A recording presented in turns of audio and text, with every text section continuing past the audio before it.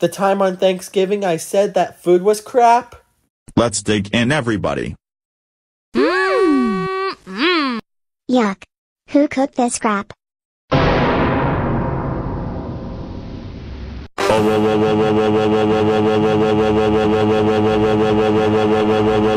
Okay, Lou. How dare you said that food was crap? That was not thankful. That's it. Let's go home right now.